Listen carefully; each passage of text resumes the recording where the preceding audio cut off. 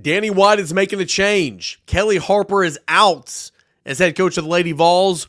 What could be next, but why this was the right move? More on that and everything else here on a Tuesday, Locked On Vols. You are Locked On Vols, your daily podcast on the Tennessee Volunteers. Part of the Locked On Podcast Network, your team every day.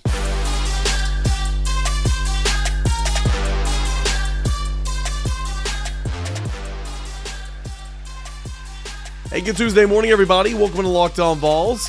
I'm Eric Cain, your host here at the show. Appreciate you for being here, making Locked On Vols your first listen each and every day. Shout out to everydayers. Couldn't do this show without you. Going to get to tons of your questions on literally a little bit of everything in segments two and three. Uh, but first, we're going to talk Kellie Harper here in segment number one. You can watch, listen, follow, subscribe, all that for free wherever you get your podcast. And of course, by subscribing to Locked On Vols YouTube channel. Uh, big show coming up today. And and, and we'll kind of start right here. Um, I never want to celebrate when a coach gets fired, um, especially when, I mean, this is just my opinion. Everybody's different. Everybody's entitled to their own opinion, but you know, just human nature. I don't feel like we should celebrate when people lose their jobs. That's just my opinion. But when you're in this industry and you get close to these people and you're around these people and you work with these people kind of on a daily basis, uh, you know, you see, you see their passion for it, and and you see their work that goes into their jobs. And it's unfortunate whenever you see somebody get let go. And I'm not saying that's the case for Kellie Harper. I don't know Kellie Harper. I don't cover the Lady Vols. And that's kind of where I'll start this conversation. I'm not a Lady Vols expert. I'm not going to try to pretend to be a Lady Vols expert. That's just not me. But we are going to talk, and we're leading the show off with Lady Vols because this is a huge story. It's a massive story.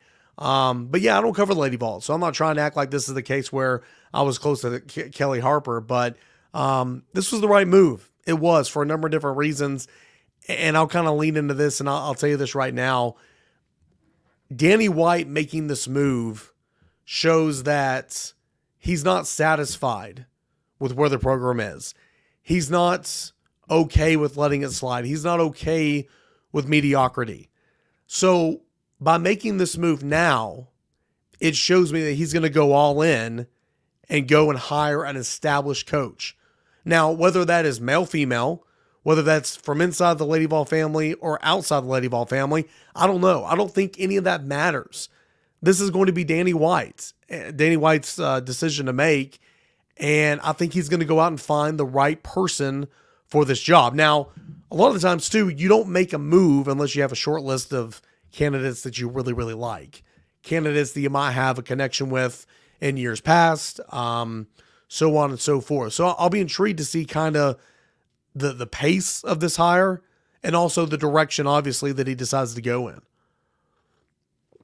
Now, remember, with the transfer portal and everything, just like any other sport, you want to be moving quickly, but you want to make sure you get it right. Um, but I do think this is the right move, and it, it's it's unfortunate because I'm sure that nobody in the world wanted this to be more successful than Kellie Harper. Mean, Kellie Harper won three national championships at Tennessee. Kellie Harper was an All American. Kellie Harper, you know, bleeds orange and white. That's who she is. She loves this program.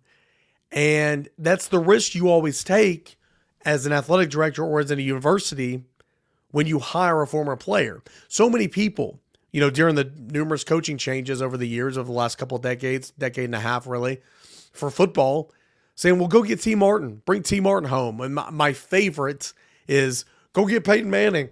Won't Peyton Manning want to come and coach quarterbacks and coach the offensive, uh, offensive, uh, you know, be, be the offensive coordinator? That is hilarious to me. As you can see, my voice is still very raspy, and I apologize. First of all, Peyton Manning doesn't want to coach. That's pretty evident. But second off, what's the end game here?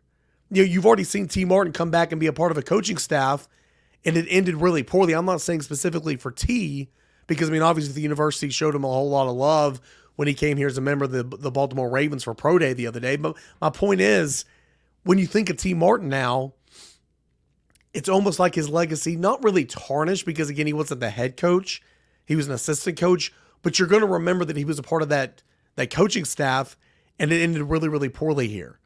So there's always a risk there when you want to hire a former Letterman, Scott Frost, Nebraska.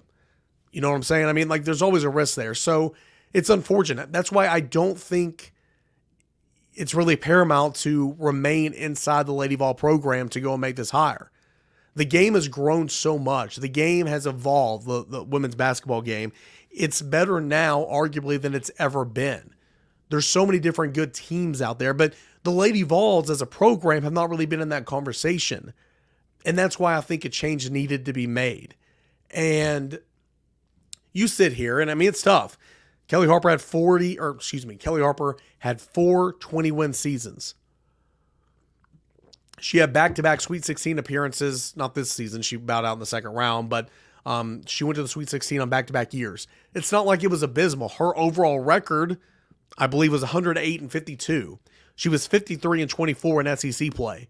But with the game being as good as it's ever been, the Lady Vols were never in the conversation of being one of the best.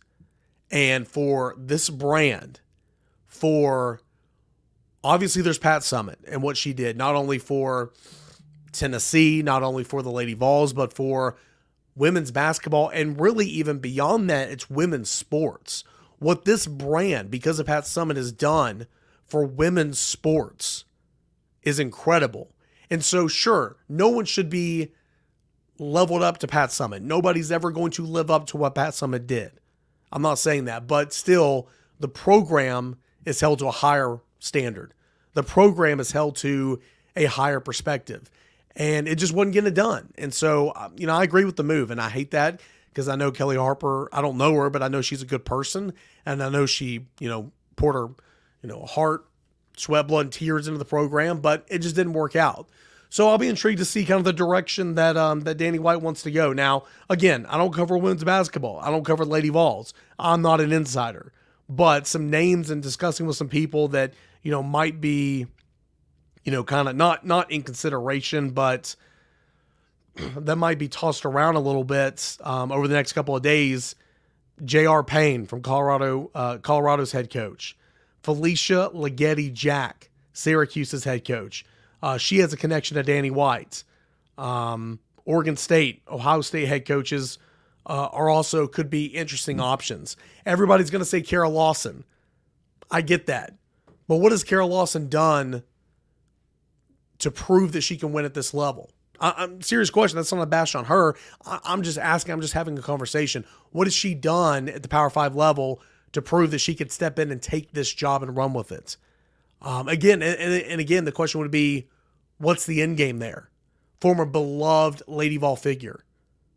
I don't know. I, I just don't think it ends very, very. Uh, I think it would end poorly than, than greatly, in my opinion. So, just some of my thoughts about this. Um, I, I, do think that you know, Danny, you don't make this hire, you don't, or this this move, you don't pay a large buyout if you're not going to go and find a proven winner. Does that mean you're going to go get Gino and bring him here? No. Does that mean you're going to go get Dawn Staley? No. Mulkey's not coming here. But you're going to go get a proven winner in the college game. You're going to pay some money and invest and make this the right hire. Because if the Lady Vols weren't a priority, and I recognize the Lady Vols not it's it's a non-profitable sport. Nothing is a profitable sport outside of football and a little bit of men's basketball. But just because it's a non-profitable sport does not mean that it's not a priority. And I think if you were okay with mediocrity or if this wasn't a priority, then you would let Kellie Harper coach another year. So um, I'll be intrigued to see what's going to happen. Kellie Harper was quoted in saying uh, in, in the release uh, put out by Tennessee in the statement yesterday, quote, it has been an honor to serve at my alma mater and to coach the Lady Vol program I love so dearly. I am grateful for the opportunity my staff and I had to lead an amazing group of young women and mentor them um, on the court as well as provide them with skills that will benefit them far beyond the game of basketball, end quotes. Uh, Danny White said he was, quotes, after a thorough review of our women's basketball program, I've informed Kellie that we are making the change in leadership. Decisions like these are never easy to make, especially with someone who has done so much for the Lady Vols as a three time national champion student athlete. Her love and passion for Tennessee and Lady Vols is second to none. She has invested so much heart and soul into our program and has truly given her all for Tennessee. I thank Kellie uh, for her stewardship for our women's basketball program and wish her and John well in their next chapter. So, um, yeah, yeah, we'll see what happens. Um, it's going to be interesting. You had Holly Warlick, the coach of the team for seven years, that, that stepped up whenever Pat Summitt stepped down due to health. And then you've had Kellie Harper the last five years. This should be an outside hire, in my opinion. Um, but more than anything, it should be Danny White's hire, and it should be an established coach at the Power Five level. So we'll see. He's going to pony up. He's going to spend some money, um, and, and, and he should, because the Lady Vol brand means more than what we've seen here the last couple of years. And it's going to be a long road, and we'll see what happens. And and you know we'll talk about the hire whenever it's made. But uh, I I don't I don't wish anybody to be fired, but I do agree with this move. I think this is the right move from Danny White. So best of luck to Kellie Harper, um, her family, her staff, and uh, we'll see exactly where Tennessee wants to go. Um, but credit Danny White for doing the right thing, in my opinion. Uh, would love to hear your thoughts about this as well. When we come back, we got plenty of your mailbag questions to get into. We'll talk football, we'll talk men's basketball, we'll talk a little baseball, we'll talk some Cruton, all that and more. That is coming up next as we continue on here with a Tuesday Lockdown On Vols. I want to tell you guys about our friends over at LinkedIn Jobs. When you're hiring for your small business, you want to find quality professionals that are right for the role. That's why you got to check out LinkedIn Jobs. LinkedIn has all the tools uh, to find the right professionals for your team faster and for free. LinkedIn isn't just another job board. LinkedIn's got a vast network of more than a billion professionals, which makes it the best place to hire. It gives you access to those professionals that you can't find anywhere else. LinkedIn does all this while making the process easy and intuitive. Hiring is easy when you have that many quality candidates available to choose from. So easy, in fact, that 86% of small businesses get qualified candidates within 24 hours. It's why 2.5 million small businesses are currently using LinkedIn for hiring. Post your job for free at linkedin.com slash college. That is linkedin.com slash college to post your job for free. Terms and conditions, they do apply. Your mailbag questions coming up next as we continue on with the Tuesday Locked On Vols. All right, guys, welcome back in here to your Tuesday edition of Locked On Vols. It is uh, one of my favorite times of the week. It's when we get to get into the mailbag questions that you everydayers send in, and I appreciate that. Uh, we'll start here with Glock Vols. Why does Purdue and the refs have the history of refereeing ruining outcomes of games that it does? Why is it always that school? Serious question. Um, you know, Tennessee and Purdue haven't played too many different times. I know they played twice this year, but in terms of the NCAA tournament, I mean, I, am not looking at the box score or anything, but I mean, I remember that game and the, the controversy there was that corner three, and it was Lamonte, did he foul, did he not foul? But I mean, at least, in, and I know that wasn't probably the only iffy call in that game, but that was the call that we remember. You know, example, that's the one play from that game I'm talking about. But I mean, that was a contested shot. And that is a did he foul him, did he not foul him call. I mean, that's just, it is what it is. My biggest gripe with this specific game and again, maybe I made it more than what it was on yesterday's show. I mean, Tennessee fouled him. It's not like Tennessee didn't foul him half the time. Uh, Tennessee fouled him, but it was more that the seven foot four, 300 pounder had one foul in a 40 minute basketball game. And as Rob Lewis so eloquently put it on the VolQuest podcast, he probably spent of the 40 minutes of the basketball game, 38 minutes in the lane. How in the world does that big man, most physical guy in basketball, end up with one foul? That's my big issue you only you have one foul, then he's able to go and, and exert more, you know, exert more effort on defense and go into rebound and all that. You got four fouls on you, you can't do that. So I don't know, man. It's it's interesting. Um, you know, P- Purdue and Tennessee, it feels like there's always some controversy there. And, and yeah, in football as well. You're exactly right. In football, the Music City Bowl, um, where Jaylen Wright did cross the plane. I don't know, man. It's uh, it's unique to kind of think uh, think about. Um, and I know this is a serious question that you're asking, but at least in that in that Sweet 16 game with with the corner three, I mean that's a bang bang play. Like that's that is a close. Like if you didn't call that a foul, it would have. It's one of those you go to review and and it stands because there's not enough to overturn it. You know what I'm saying? Like it was close. There's no reason that that Edey should have had one foul on him. You know, spending all that time in the lane when you're seven foot four, 300 pounds. Uh, we'll go next to Andrew. What's the men's basketball roster look like next year? Uh, somebody asked, I'm to go ahead and kind of jumble these together. Somebody asked about scholarships. I believe that was Trevor. Um, I believe that was Trevor that I was going to get to here in a moment, but uh, I'm going to lump Trevor's question and Andrew's question kind of together. Scholarships for men's basketball is at 13. You look at Tennessee's you know roster right now, who they have coming back. If everybody chose to come back now, you know, we'll see if that happens. But everybody you know coming back, Bishop coming in, and the three that you're losing, you have two scholarships open.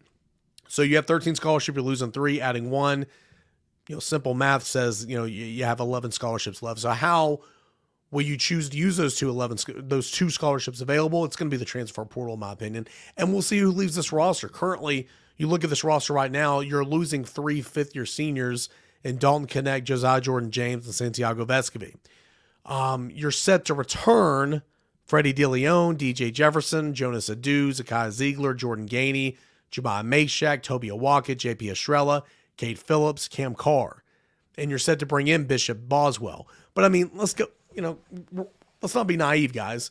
Not all these guys are going to return. It's the nature of the transfer portal. Two of the biggest question marks right now is Freddie Dilione, DJ Jefferson. Will those guys be a part of the rotation? Excuse me. Will those guys be a part of things moving forward? I don't know. We'll have to see. But in the era of the transfer portal and how those guys barely played this year, wouldn't shock me whatsoever if both of those guys decide to move on. Is there another guy that might decide to move on that isn't really in that category? I don't know. Maybe. Jonas Aidoo is probably going to test the NBA waters and then come back, as he should. Um, but you always got to be ready, head on a swivel, to see exactly, you know, who's going to leave and what's your plan uh, to replace those if needed. So hope that kind of answers the question there. Uh, we'll go to Joey. Joey says, Will Tennessee ever be taken as a serious program? They've never won a big game, game crumble the spotlight, fall short every single year. I would assume this is a troll. And Joey, if this is not a troll, I don't mean any, any disrespect and I apologize, but I assume this is a troll. Um, Tennessee just playing the Elite Eight. That's a that's a pretty big game. Tennessee just won a excuse me, Sweet 16 game. That's that's pretty big game. Um, there are teams all across the country that are not playing in the Sweet 16, not winning. Uh, Tennessee just won your um, SEC regular season championship. It's a pretty big, pretty big game. So I think this is a troll. I won't entertain it much longer, but I mean, Tennessee's relevant and is as relevant as it's ever been. It just came off the most accomplished season, and in my opinion, the best season in basketball history for this program. Uh, we'll move on now to Aaron. Aaron says I don't expect Tennessee football to win the Natty under Nico's first starting season, but hopeful and would love it. However, who do you think actually gets closer to holding up that trophy this year between football and baseball? It's a really good question. Um, I feel like the easy answer would be to say baseball, just because baseball's gone to the College World Series two of the two out of the last three years not that Tennessee can't get back to the College World Series this year because I love the offense and I love the options um, and I love some of the pitching, but it's going to be a grind as it always is. You know, obviously the, the best college baseball team in the history of the sport, the 2022 Vols, didn't even make it to Omaha. It's just that hard. The road is so challenging. Um, so for that reason, I'll say football. Again, 12 team playoff. You can get an at large bid and not even win your conference anymore. You can lose two games and go to the expanded playoffs. Um, so for that reason alone, I'll say football, just because I think it is the most difficult thing to do in all of sports is to win a college World Series in baseball. I just think the road is so challenging. So I'd love to hear you guys' thoughts on that. We'll go to Jared next. Excuse me. After watching Vol Club Confidential, Brazzell just comes off as a hyper focused, motivated guy to be wide receiver number one. Seems to be all about ball. Honestly, I would not be surprised if he becomes the other starter instead of Thornton or Webb. How does he look? Uh, how does he look to you compared to the other two? Wouldn't surprise me at all. I mean, guys, think about this. I mean, Tennessee brought him in to do just that. Tennessee brought him in to take the place of Dont'e Thornton. And it's not that they're giving up on Dont'e Thornton but the the results overall, they need to go out and get a guy, and, and they did that. And so you're not going out there and allocating NIL, you know, resources to bring a guy in just for depth, right? And so, you know, wouldn't shock me whatsoever if that's the case either. um, as far as how he's looked, he's had a really good spring. Uh, I think he got off to kind of a slow start. That's understandable. You know, first week in a new system and all that. But I think he's had a really good spring. But Dont'e Thornton's had a really good spring as well. So I love that battle. I'm intrigued to see how that battle ends in spring. And then ultimately it's going to carry over into fall camp and, and seeing which one. But if you're Tennessee, it's you're in a really good spot because you are creating some depth and you're going to have some playmakers that can rotate in for sure. Uh, but I'm excited to see Chris Brazzell. He comes in with a lot of success at Tulane. Tulane, I get it, uh, but that's more on his resume than Thornton came in at this time last year at Oregon. And we'll uh, finish off this segment. We'll get to more of your questions in segment three, but we'll finish off this segment with Darius. And kind of on that note, with having so much talent at wide receiver position, do you think that the underclassmen opt to stay, knowing that they'll have the opportunity to eventually play with Nico? Brew and Thornton will be out of eligibility, so that leaves the outsides open. What are your thoughts? Yeah, I mean, you know, Chris Brazzell will certainly be a starter for this team, if not this year, next year. He'll play this year regardless. Um, Thornton will be gone. Brew will be gone. So it kind of you think about Chas Nimrod and Kaleb Webb, and that that's really what I'm what I'm kind of pondering here because that second transfer portal window is going to open April the 16th. And so do those guys still think that they can crack the the depth chart, the two deep, be in the rotation next year for this upcoming football season? And also know that the point that you brought out, to have you're going to have two wide receiver spots open on the outside the following year. Do they view it like that or do they see Braylon Staley, who's more of a slot, but Mike Matthews kind of breathing down their neck as a true freshman and a five star. I'll be interested to see. I mean, I think the conversation is about Chas Nimrod and Kaleb Webb more than anybody else because you know those two freshmen aren't leaving. Um, Brazzell's not leaving. You know Thornton maybe. You know uh, again, never say never. Gerald Mincey left.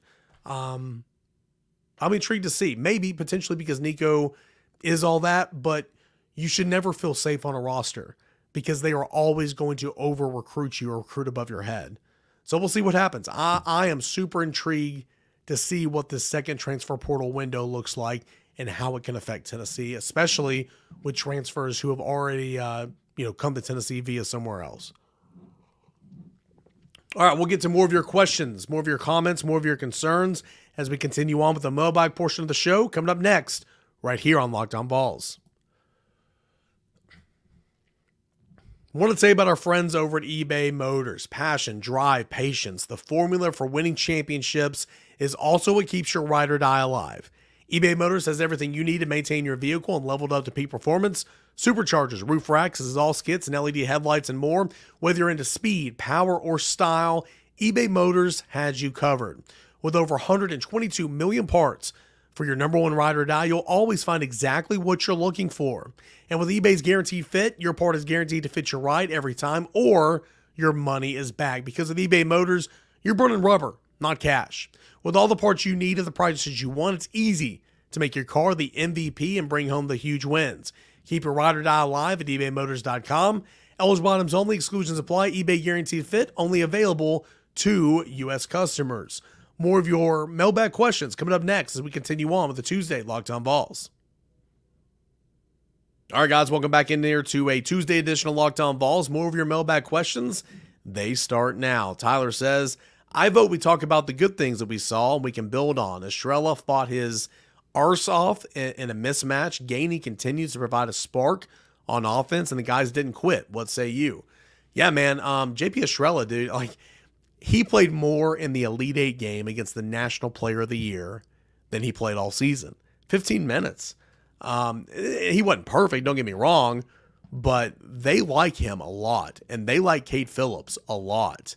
And you know what you got in Jonas Aidoo. And if Tobe Awaka can learn just to not foul every single play, Tennessee's front court, it's going to be really good next year. And so that's something to build on. Uh, Jordan Gainey, yeah, I don't think Jordan Gainey is ever going to be a guy that is consistently leading your team in points. He's going to be a spark. He will show up and then he won't show up, in my opinion. That's just kind of who he is.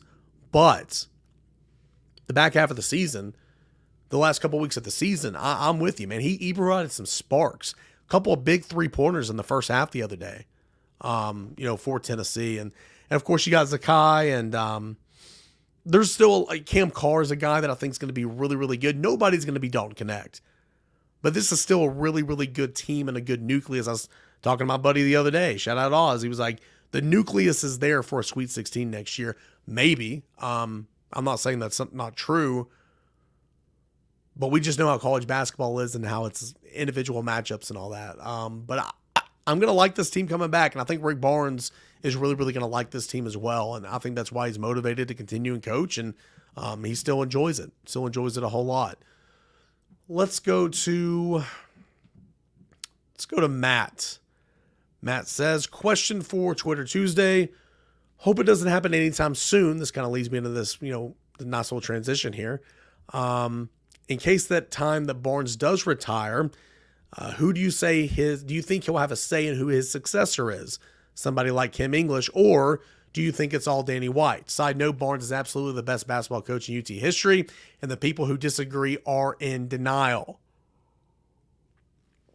100% agree with that. Um, Bruce Pearl had a great run here at Tennessee. His 2010 team that went to the Elite Eight was a solid team. This team would kick that team's butt 10 times out of 10. Just would. Um, Barnes has also had the Grant Admiral team that, you know, had a program record, was a 31 regular season wins. Yeah, Barnes is easily the best coach in, in Tennessee history, and I'm with you there. Now, it, when he does retire, hopefully it's not anytime soon. Your question is, will he have a say in who his successor is? I'm sure he'd have a say, but at the end of the day, Danny White's going to make that call. Danny White's going to hire who he wants to. But I do think Kim English would be a guy that's considered for sure. He knows the culture, he knows the recruiting landscape, he knows the NIL framework. Um, he would be a guy that would be you know close to the top of my list if I was making that call. But will Rick Barnes make that make that offer, make that job, make that hire? No. Danny White will, but I'm sure Danny White will use him as a sounding board, but it's going to be Danny White's call eventually, whenever that is. Uh, let's go to Ross. Ross says, Who is Rick Barnes and the staff looking at either in the high school ranks or in the transfer portal to build on the success of this year? Yeah, it's really early for Tennessee. I mean, granted, there's people on support staff that are always watching the portal, who's going in, who's going out, all that type of stuff. But I mean, the focus has been on this NCAA tournament run. So that type of chatter will continue to pick up steam this week. Um, I don't have any names, but Tennessee needs a wing player. Tennessee needs a shooter. Okay. Um, but Tennessee needs to go and find a wing player for sure that, that, that can shoot the basketball. If Jonas somehow stayed in the NBA draft process and left, then you would need to go get a big man. I just don't see that happening. I don't see that being the case. I think Jonas will go and test the waters and then come back to, to Tennessee. So go get a shooter, get a wing player, you know, best available top situation. Um, Josiah Jordan James, man, they don't grow on trees. I think Jahmai Mashack will, will kind of go into that stretch four role next year. Uh, versatility with his defense, um, you know, all that type of stuff. But I would say wing and shoot shooter for sure. And, and again, maybe another big man, but but Tennessee loves the big men on their roster right now. As I mentioned, JP Estrella, Cade Phillips. So I would say that'd be kind of less of a, of a priority right now. Let's go to Trevor. What are the scholarship numbers? Okay, I already mentioned that. Um, let's go to James. James says, I am extremely concerned about the pitching situation for Tennessee. Should I be? Beam hasn't pitched like the first round pick. Russell was the rock solid guy that you could count on, but at this point, do we even see him again this year? Elbow forearm soreness is always scary. I think one of the freshmen, Dallas, would be my preference. Has to step up, but that hasn't happened yet. Yeah, James, I agree with you, man. One of these two freshmen, a Derek Schaefer, Matthew Dallas, has got to step up, if not both of them, so they can have those guys in the bullpen to rely on or throw them out there for a spot start.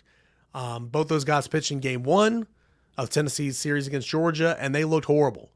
I think uh, Schaefer gave up five runs and ending in a third. Matthew Dallas gave up two runs and an ending in, in two thirds or something. I, I don't know. It, it was really, really bad. They've not gotten off to the starts of their collegiate careers that I think that everybody expected.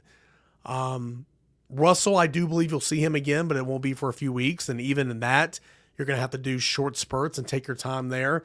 And Beam has not pitched good in SEC play. I wrote about in the 321 the other day over at VolQuest.com, but I'm worried about the pitching too, for sure. Tennessee's ranked number four right now in the country. Tennessee's overranked right now. Doesn't mean Tennessee's not talented. That means Tennessee can't get the Omaha. That means Tennessee can't overcome it. But right now, Tennessee's overranked in my opinion. I would have Tennessee about like seven or eighth. Um, so James, I'm with you, man. Uh, I'm I'm worried about the pitching too. I think that's absolutely fair. Let's go to Braden. Do you trust Keith, Khalifa Keith, to be RB two until Cam Seldon gets back? Right now, no. You still have two weeks left of spring practice and two scrimmages. Can you prove that you can be that? Or DeSean Bishop. DeSean Bishop's on even playing field in this conversation, in my opinion. Can either one of you guys prove that you could be that guy that says, hey, you don't need to go to the transfer portal because I'm here? These next two weeks of spring practice is, is going to be just that. Can Khalifa Keith or DeSean Bishop prove that Tennessee doesn't need to go out to the transfer portal and find a running back? Because right now I would say no, but you still have some time. And then finally, we will end with my buddy Garrett. Garrett says, top three players that would commit today if it were National Signing Day. Um, yeah, I'm not going to pretend like I'm, these are not crystal balls. This is not an RPM pick, but this is just my opinion. If National Signing Day was today, Ethan Utley would have been on that list, but he actually committed last week. Um, I would say Cam Sparks, in state four star wide receiver. Radarious Jackson, in-state four-star wide receiver. I still like the balls with those two guys. And then I would go four-star safety, Shady Hayward. Those would be my three guys right now. Another question from Garrett. Biggest risers up the depth chart after the spring scrimmage. It's just early. Monday was the first practice after a four-day week, four-day break for Easter. Um, but I would say a lot of guys you're hearing chatter about right now. Jalen McMurray, transfer from Temple at quarterback.